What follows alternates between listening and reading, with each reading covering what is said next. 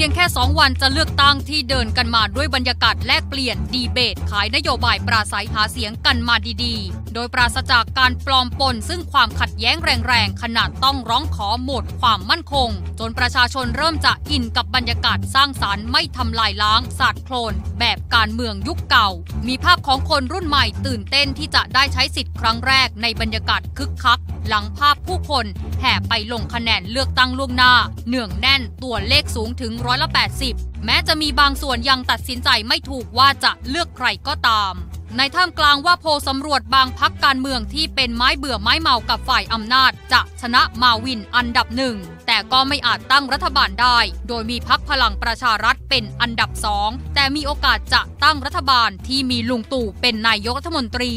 ขณะที่พักประชาธิปัตย์หลังบทเหี้ยวของหัวหน้าพักอภิสิทธิ์ที่แข็งขืนกับการประกาศไม่หนุนลุง แถมยังมีจดหมายรักถึงประชาชนให้เปลี่ยนจากลุงมารักพี่ ก็ยังก้ากึ่งสองสามและส่อสัญญาณที่จะเกิดความเปลี่ยนแปลง หัวหน้าพักตามสัญญา แต้มต่ำร้อยต้องรับผิดชอบ ที่จะส่งผลต่อสมการการจับขั้วตั้งรัฐบาลหรือไม่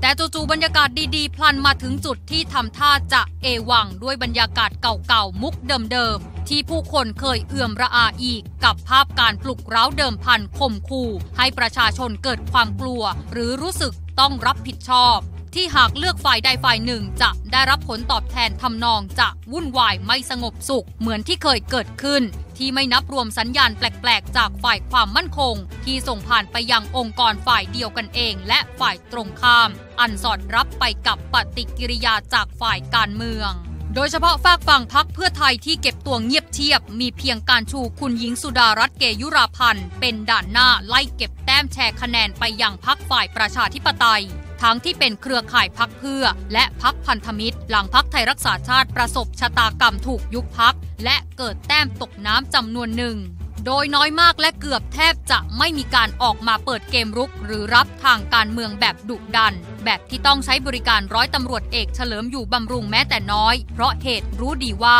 ภายใต้อำนาจรัฐคอสช ที่ยังมีอยู่ ทั้งในกองทัพฝ่ายความมั่นคง และองค์กรอิสระ ที่หากเดินเกมพลาดย่อมสุ่มเสี่ยงที่จะเออเรอร์แบบพักไทยรักษาชาติได้ ที่ถึงขนาดต้องออกแถลงการฟ้องว่ากำลังถูกคุกคามจากฝ่ายอำนาจรัฐ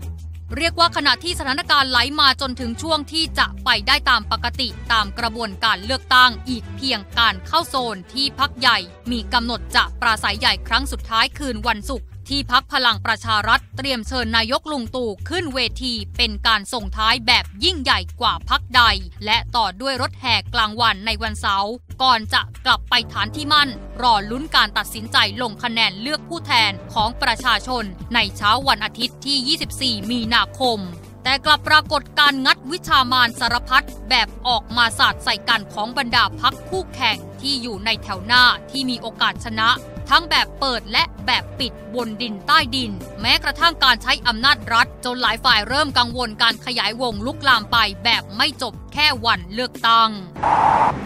คำว่าวิชามานสำหรับการเลือกตั้งมักปรากฏขึ้นมาทุกครั้ง และทุกครั้งล้วนมีวิธีการที่แตกต่างกันออกไป เพื่อให้ฝ่ายของตนเองเป็นฝ่ายมีชัยในสมรภูมิการเลือกตั้ง โดยเฉพาะในช่วงโค้งสุดท้ายที่เรียกกันว่าคืนหมาหอน ในอดีตวิชามานที่นำมาใช้กันในการเลือกตั้งคือการซื้อเสียงที่มักกระทำกันในรูปแบบต่างๆ ตามความถนัดและโอกาสจะเอื้ออำนวย ทั้งการให้เป็นสิ่งของ เป็นเงิน เป็นจัดงานเลี้ยงรื่นเริง มหรสพต่างๆ สุดแต่ใครจะเลือก ใครจะทำแต่เมื่อช่วงหลังมีกฎหมายที่เข้มงวดรัดกุม และโทษที่รุนแรงขึ้น รวมถึงคณะกรรมการการเลือกตั้งก็มีเครื่องมือในการดำเนินการตรวจสอบมากขึ้น วิชามานรูปแบบเหล่านี้ก็ไม่ค่อยเป็นที่นิยมมากนัก อาจเพราะจะโฉงช่าง ล่อแหลม ต่อการถูกจับได้หรือถูกตรวจสอบพบ และถูกดำเนินคดีกลายเป็นใบแดงได้ไม่คุ้มเสีย แต่ไม่ได้หมายความว่าจะไม่มีเลย เพียงแต่จะเปลี่ยนรูปแบบไปตามสมัยนิยม เป็นการซื้อเสียงเชิงนโยบายแทน ซึ่งมักพบในฝ่ายรัฐที่กลุ่มความได้เปรียบมาแต่ต้น รวมถึงยุคนี้เป็นยุค 4.0 ก็อาจจะมีการซื้อเสียงรูปแบบใหม่ผ่านกันทางระบบออนไลน์ต่างๆ ด้วย อีกหนึ่งประเภทวิชามารที่มักใช้กันคือการดิสเครดิตฝ่ายตรงข้ามทำลายฝ่ายตรงข้ามให้ดูแย่ในสายตาประชาชน ในอดีตอาจใช้เป็นบัตรสนเท่ห์หรือใบปลิวโจมตีใส่ร้ายป้ายสีกัน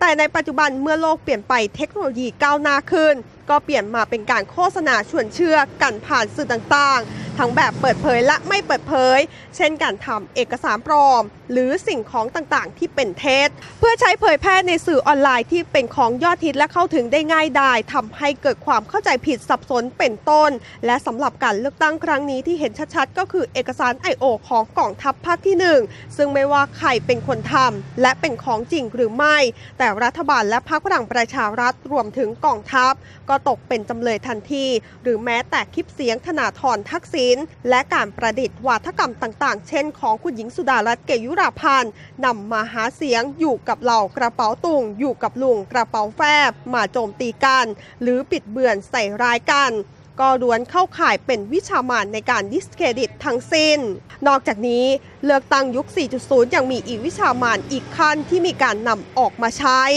คือการสร้างความกลัว